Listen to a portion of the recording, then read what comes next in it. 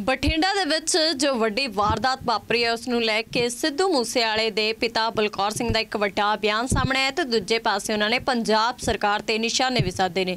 ਅਤੇ ਕਿਹਾ ਹੈ ਕਿ ਸਾਨੂੰ ਕਾਫੀ ਸਮਾਂ ਹੋ ਗਿਆ ਹੈ ਤੇ ਸਿੱਧੂ ਨੂੰ ਇਨਸਾਫ ਦੇ ਲਈ ਮੰਗ ਕਰ ਰਹੇ ਹਾਂ ਤੇ ਅੱਜ ਸ਼ਰੇਆਮ ਜੋ ਬਠਿੰਡੇ ਦੇ ਵਿੱਚ ਵਾਰਦਾਤ ਵਾਪਰੀ ਉਸ ਨੂੰ ਲੈ ਕੇ ਪ੍ਰਸ਼ਾਸਨ ਦੀਆਂ ਜਿਹੜੀਆਂ ਨਾਕਾਮੀਆਂ ਉਹ ਦੇਖਣ ਨੂੰ ਮਿਲ ਰਹੀਆਂ ਨੇ ਤੇ ਅਜਿਹੇ ਜਿਹੜੇ ਸਵਾਲ ਆ, ਉਹ ਕੀਤੇ ਜਾ ਰਹੇ ਨੇ। ਪੂਰੇ ਮੁੱਦੇ ਨੂੰ ਲੈ ਕੇ ਸੁਣਦੇ ਆ ਪਿਤਾ ਬਲਕੌਰ ਸਿੰਘ ਦਾ ਕੀ ਕਹਿਣਾ ਹੈ? ਦੋ ਦੋ ਚਾਰ ਚਾਰ ਪਿੰਡਾਂ ਦੇ ਵਿੱਚ ਇੱਕ ਗੈਂਗਸਟਰ ਪੈਦਾ ਹੋ ਗਿਆ ਲਿਸਟਾਂ ਸਭ ਦੀਆਂ ਬਣਾ ਲੀਆਂ ਜਿਹੜਾ ਬੰਦਾ ਕਾਰੋਬਾਰੀ ਹੈ ਖੁਦ ਕਮਾ ਕੇ ਰੋਟੀ ਖਾਣ ਵਾਲਾ ਉਹ ਬੰਦਾ ਚਿੰਤਾ ਦੇ ਵਿੱਚ ਪਰ ਸਰਕਾਰ ਇਸ ਗੱਲ ਦੇ ਉੱਤੇ ਤਸ ਤੋਂ ਮਸ ਨਹੀਂ ਹੋ ਰਹੀ ਨਾ ਸਰਕਾਰ ਇਸ ਗੱਲ ਦਾ ਕੋਈ ਡਾਟਾ ਇਕੱਠਾ ਕਰਨਾ ਚਾਹੁੰਦੀ ਮੈਂ 20 ਵਾਰੀ ਬੋਲਿਆ ਕਿ ਤੁਸੀਂ ਇੱਕ WhatsApp ਨੰਬਰ ਜਾਰੀ ਕਰੋ ਜਿਸ ਬੰਦੇ ਨੂੰ ਫਰੋਤੀ ਹੁੰਦੀ ਉਹਦਾ ਰਿਕਾਰਡ ਰੱਖੋ ਤੁਹਾਨੂੰ ਪਤਾ ਲੱਗੇ ਕਿੰਨੇ ਲੋਕ ਪੀੜਤ ਨੇ ਇਹਨਾਂ ਲੋਕਾਂ ਤੋਂ। ਪਰੰਤੂ ਉਸ ਪਾਸੇ ਨੂੰ ਤੁਰ ਕੇ ਰਾਜੀ ਨਹੀਂ ਕੋਈ ਉਹਦਾ ਕਹਿੰਦੇ ਲਾ ਐਂਡ ਆਰਡਰ ਦੀ ਹਾਲਤ ਬਹੁਤ ਮਾੜੀ ਹੈ। ਤਾਂ ਤੁਸੀਂ ਦੇਖੋ ਦਿਨ ਦਿਹਾੜੇ ਕਿਵੇਂ ਇੱਕ ਕਾਰੋਬਾਰੀ ਦਾ ਕਤਲ ਕਰ ਦਿੱਤਾ ਗਿਆ।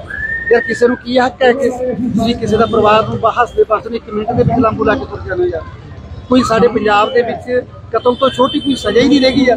ਮਤਭੇਦ ਹੋ ਸਕਦਾ ਕਿਸੇ ਨਾਲ ਕੋਈ ਡਿਸਪਿਊਟ ਹੋ ਸਕਦਾ ਕੋਈ ਬਹਿ ਕੇ ਅਦਾਲਤਾਂ, ਕਾਰਜਪਾਲਿਕਾ ਸਾਡੇ ਕੋਲ ਹੈਗਾ, ਸਭ ਕੁਝ ਸ਼ੇਰ ਬਹਿ ਕੇ ਹੱਲ ਕੀਤਾ ਜਾ ਸਕਦਾ ਜਾਂ ਆਪਾਂ ਜੋ ਸ਼ੂਟ ਕਰਨਾ ਹੀ ਯਾਰ ਹੱਲ ਰਹਿ ਗਿਆ।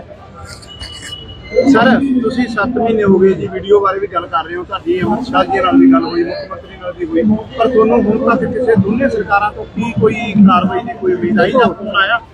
ਬੜੀ, ਬੜੇ ਦੁੱਖ ਦੀ ਗੱਲ ਹੈ ਵੀ ਸਰਕਾਰ ਹੈ ਜਿਹੜੀ, ਉਹ ਸਾਡੇ ਕਾਰੋਬਾਰੀਆਂ ਨਾਲ, ਸਾਡੀ ਪਬਲਿਕ ਨਾਲ, ਸਾਡੀ ਜਨਤਾ ਦੇ ਨਾਲ ਨਹੀਂ ਖੜੀ ਹੋਈ। ਸਰਕਾਰ ਦਾ ਜਿਹੜਾ ਰੁਖ ਹੈ, ਉਹ ਬਿਲਕੁਲ ਗੈਂਗਸਟਰਾਂ ਦੇ ਨਾਲ ਖੜਾ ਹੈ।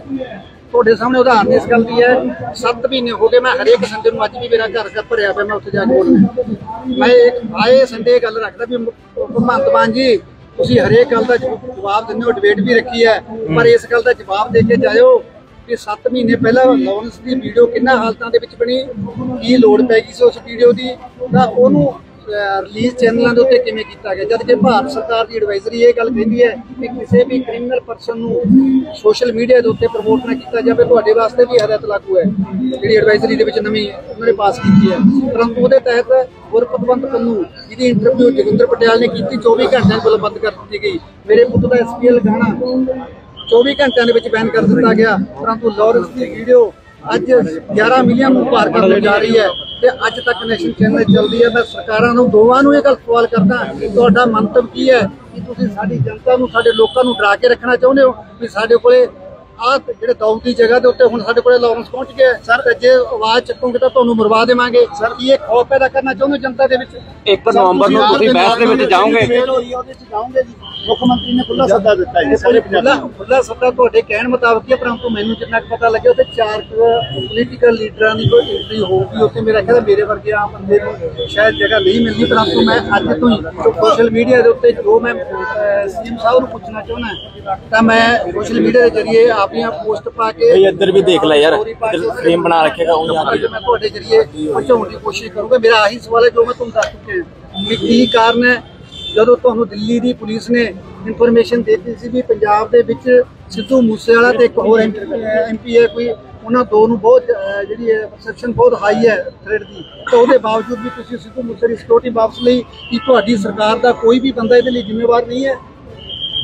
ਤੇ ਤੁਸੀਂ ਅੱਜ ਤੱਕ ਵੀ ਕਿਸੇ ਦੇ ਖਿਲਾਫ ਕੋਈ ਜਿਹੜੀ ਹੈ ਜਾਂਚ ਪੜਤਾਲ ਨਹੀਂ ਕੀਤੀ ਕਿਸੇ ਨੂੰ ਕੋਈ ਇਨਕੁਆਰੀ ਨਹੀਂ ਕੀਤੀ ਤੇ ਚੁੱਪ ਕਰਨ ਦੇ ਨਾਲ ਕਿਸੇ ਸਮੱਸਿਆ ਦਾ ਹੱਲ ਥੋੜ੍ਹਾ ਹੋ ਜਾਣਾ। ਪੰਜਾਬ ਦੇ ਲਾਅ ਐਂਡ ਆਰਡਰ ਬਾਰੇ ਕੀ ਕਹਿਣਾ? ਹੋਰ ਨਾ ਤੁਹਾਡੇ ਸਾਹਮਣੇ ਹੈ ਜੀ। ਹੁਣ ਤਾਂ ਕੋਈ ਦੱਸਣ ਦੀ ਗੱਲ ਨਹੀਂ ਰਹੇਗੀ ਕਿੰਨੇ ਕਤਲ ਹੋ ਗਏ ਕਿੰਮੀ ਚਾਵਲਾ ਤੋਂ ਲੈ ਕੇ ਗਰਜੰਟ ਤਾਰਨ ਤਾਰਨ ਤੋਂ ਲੈ ਕੇ ਆਪਣਾ ਲੀਲਾ ਸਿੰਘ ਹੋ ਗਿਆ ਮੈਂ ਭੁੱਲ ਜਾਂਦਾ ਹਾਲੇ ਦਰਜਨ ਕਤਲ ਆ ਤੁਹਾਡੇ ਸਾਹਮਣੇ ਹੈ।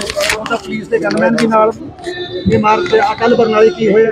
ਪੁਲਿਸ ਵਾਲਾ ਕੁੱਟ ਕੁੱਟ ਕੇ ਲਾਅ ਐਂਡ ਆਰਡਰ ਤਾਂ ਤੁਹਾਡੇ ਸਾਹਮਣੇ ਹੈ ਸਾਡੀ ਗੱਲਾਂ ਦਾ ਮੈਂ ਇੱਕਦਮ ਬੋਲਣਾ ਕੁਛ ਕਰਤਾ ਮੈਂ ਫਿਰ ਵੀ ਭੁੱਲ ਜਾਂਦਾ।